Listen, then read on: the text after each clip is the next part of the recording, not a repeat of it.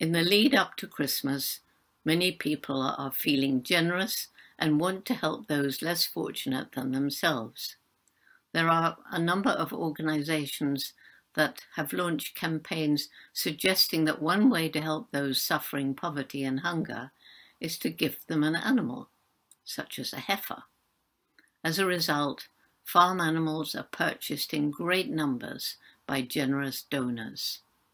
Unfortunately, this can result in unintended consequences.